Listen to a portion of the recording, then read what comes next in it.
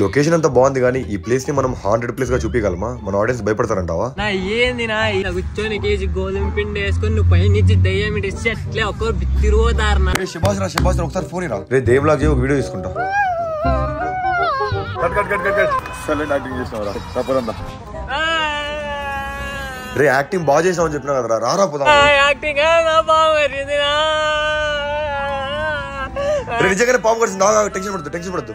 నీ అమ్మ మావనే రే ఇప్పుడు దాన్ని చంపడం కాదురా సొల్యూషన్ ఫస్ట్ బండి వాటర్ పడితే ఆపు. పాము కొరికినప్పుడు ఆ కొరికిన దగ్గర వాటర్తో నీట్గా క్లీన్ చేయాలి. నోటితో కొరికే విషయం మీకెద్దునా అలా చేయకూడదురా. కొరికిన చోట కత్తితో కోసేద్దునా? అలా చేయకూడదురా. పాము కొరికినప్పుడు రెండు చుక్కలు ఉన్నాయంటే అది విషపూరితమైనది. రెండు కాకుండా ఎక్కువ ఉన్నాయంటే అది విషపూరితమైనది కాదని అర్థం. ఇలాంటి టైంలో పేషెంట్ ఎట్టి పరిస్థితుల్లో పానిక్ చేయకూడదురా. దీనివల్ల బ్లడ్ ఫ్లో పెరిగి బాడీ మొత్తం పాయిజన్ స్ప్రెడ్ కావడానికి చాలా ఆస్కారం ఉందిరా. భయపడద్దు భయపడద్దు. చాలా మంది పాము కాడికి గురై చనిపోయేది ఎలానో తెలుసా? భయపడడం వల్ల. హాస్పిటల్ పోదాం పారా.